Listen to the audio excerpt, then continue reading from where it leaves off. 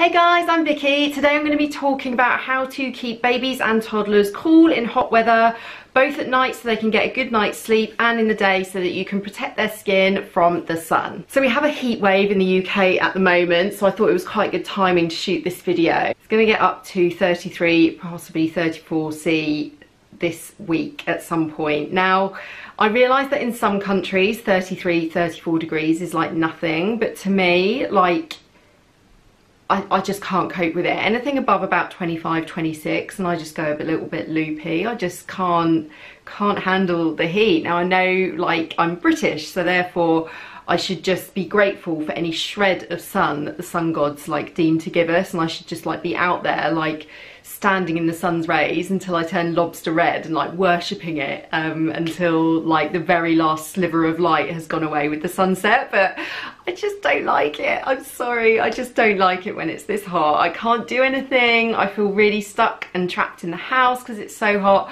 I feel like I can't really be very um, productive around the house because I feel too hot. It's just too hot. I'm sorry but it is 25 degrees maximum, that's all I want. anyway, let's talk about keeping babies and toddlers safe during the daytime in the sun. So the best thing you can do for your child is to just cover as much of their skin as possible with very light clothing. Now, the temptation might be to have your child running around naked in the back garden, which obviously is absolutely fine for a little while, you know, we shouldn't be afraid to do that, but um, in general, your child's skin is very, very delicate. There's only so much that sun cream can do. The very best and the most reliable protection is to cover that skin as much as possible. So get t-shirts that cover the shoulders because these are the places that catch the sun the most.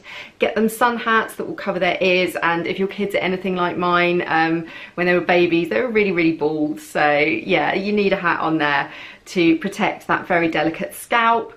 Um, wearing shorts, things like that, that will protect the tops of their legs. Obviously, if you do want to let your child run around in the buff for a little while, then, you know, do it. Like, it's summer, it's meant to be fun, but do make sure that you put sun cream on them. Now, talking about sun cream, this is my next tip, and this is a really important one that people often miss, and I was totally unaware of it until a couple of years ago. So when you're shopping for sun cream, this is something that you really need to keep an eye out for. So when most people are shopping for sun cream, they look at the SPF and they base their decision on that, and probably also on the brand. So this is a Sun Protect by Sainsbury's. So often you'll look at something and you'll see, ah, it's Nivea, uh, it's Ambre Solaire. Like, I recognise those brands, I trust them, it says it's kids safe, brilliant, that will be perfect.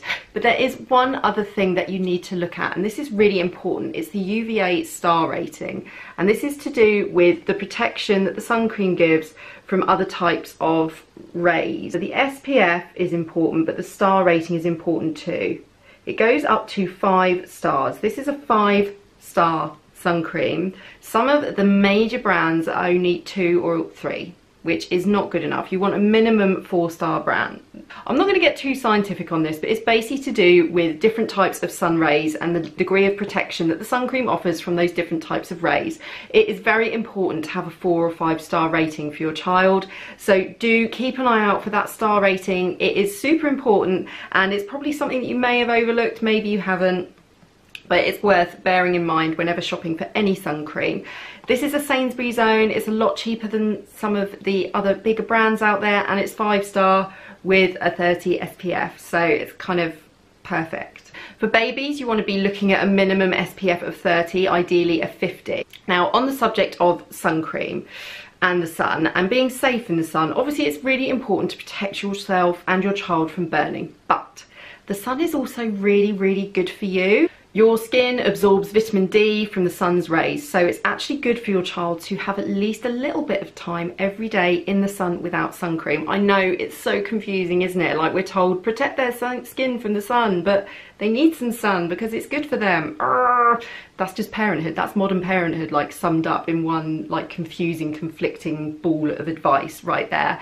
But yeah if you can give them like say 20 minutes to half an hour in the sun without sun cream on then it's going to do them a lot of good. Now i'm talking about uk temperatures. I'm not talking about in the middle of the sahara desert where like obviously the sun is much more intense. But i'm talking about first thing in the morning when you've just gone out giving them a little bit of time in the sun without sun cream on is actually really really good for them then pop the sun cream on and you're good to go. My next tip then is to try and avoid the sun's rays at lunchtime when it's at its most intense. That's from about, what, like half 11 till about half 1, 2 o'clock, something like that.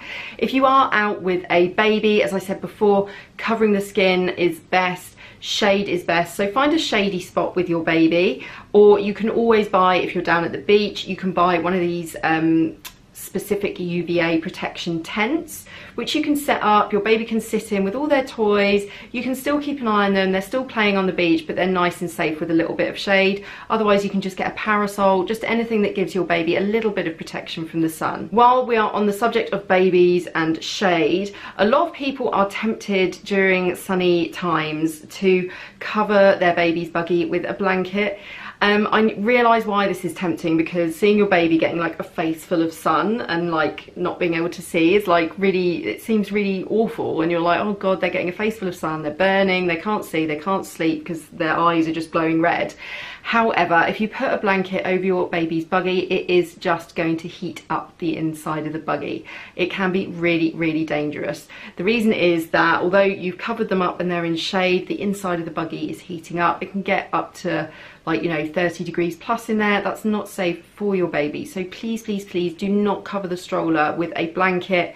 If you do want to give them a little bit more shade while they're in the buggy, you can get parasols that attach to the side of the buggy and you can angle them around to give them a little bit more shade. You can get other specific products that will fit to your buggy just to get that little bit of shade. And the other thing is to maybe just avoid the sun during particular times of day so that you can keep your child protected from it. But please, please, please don't put a blanket over your baby's buggy because it does just heat them up really, really fast and that can be very dangerous. My next tip is if it's a really hot day, you've got no air conditioning, you're all sweltering, it can be a good idea just to get a paddling pool out and let your child have a little paddle around. If you don't have a paddling pool, then get some saucepans, fill them up with water, let them just, or like a bucket, whatever you have, and let them just sit next to it and splash around with their hands.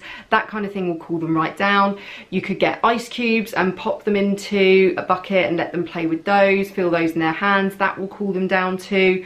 You could even put food dye in the ice cubes to make them lots of different colours, which will make it really fun, and that's a bit more of a sensory play experience for them, so that's really fun too. If your baby is very young and they're breastfeeding, you could freeze some some breast milk and make some ice lollies for them. If your baby's a little bit older and they're weaning, you could make your own ice lollies out of things like orange juice, or you could pulp up some fruit like strawberries and freeze that and let them munch on that. Anything like that is not only great for teething, but it's also gonna help just cool them down and make them feel a little bit more comfortable and just a bog standard wet flannel like cool wet flannel dabbed all over them that will help as well okay so moving on to nighttime this is an absolute nightmare for getting sleep, I find. When you have a baby at night time, it's hot, they just won't go to sleep. You know, they're uncomfortable, you're uncomfortable, and they want to be held and comforted because they're not feeling great, and you just end up a big sweaty mess. It's just, bleh, it's just horrible.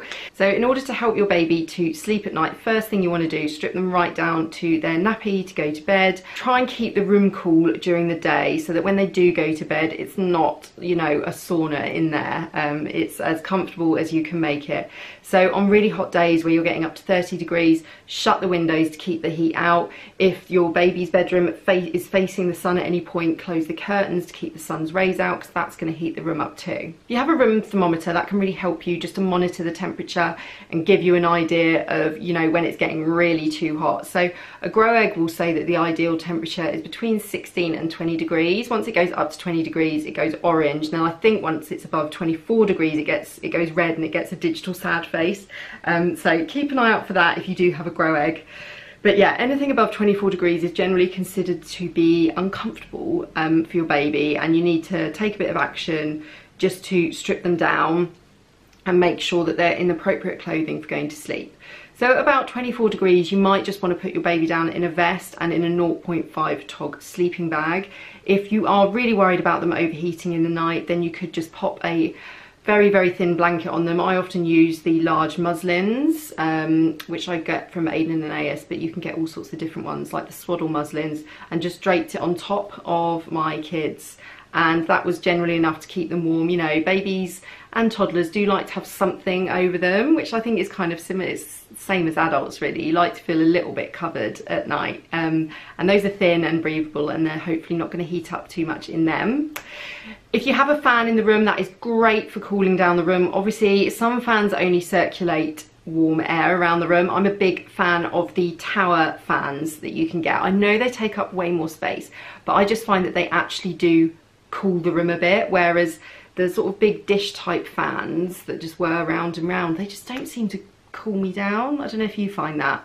But I'm, yeah, as I say, I'm a huge fan of the tower fans. When you put your baby to bed, try not to have the fan pointing directly at them because they will, particularly with very young babies, they will cool down very, very rapidly if they're in a direct draft. So angle the fan away from them but have it fairly close-ish so it's a bit of a balancing act um, so that you can just try and just cool the room a little bit down overnight and maybe put the fan on a timer so it only stays on for about an hour or so just so your baby can get to sleep in comfort. During really hot weather your baby is going to be thirstier which possibly means more night feeds so try and tank your baby up um, during the last feed at night. Consider adding a dream feed as well if you don't already do a dream feed just to make sure that they can really rehydrate and if they do sweat a lot at night it's not going to be you know causing them too much of a problem. Make sure they're nice and hydrated throughout the day give them a super big feed at night. And if they do want to feed extra overnight which they may well do they may well wake up a little bit more no matter what you do let them feed as much as they want to feed. And remember that it's just a phase it's just because of the hot weather it will pass. And if your child was sleeping through before they will go back to sleeping through again afterwards if all else fails and your baby's bedroom is the hottest room in the entire house, then your last resort is to move the bed somewhere else.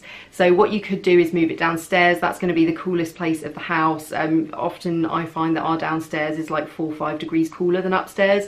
So move them downstairs, obviously make sure the room is safe, make sure the environment is safe, but you may well find that they'll get a much better night's sleep if you shift them to a cooler room. With your baby's bedtime bath, try and make the water cool, but don't make it icy cold. Icy cold water will cause the body to try and warm itself up, so your baby's body will start working harder to warm up and it will be counterproductive to what you're trying to do.